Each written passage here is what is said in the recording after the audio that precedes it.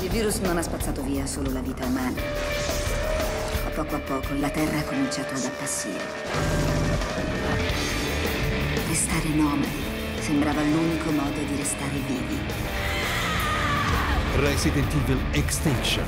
Questo giovedì alle 21. Su Cielo.